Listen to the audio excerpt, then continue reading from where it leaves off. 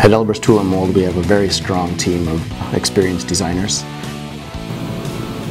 When we design our mechanisms we start off by designing everything full in 3D. Uh, we prove out our mechanism concept by assigning the kinematics and the simulation to each mechanism. Uh, we're able to take this information and show it to the customer. Uh, the benefit in simulation is both for us and our customer because we're able to uh, uh, be confident in what we're designing is going to work as well. We're able to show our customer the full functionality and um, see the, the mechanism work prior to cutting it in steel.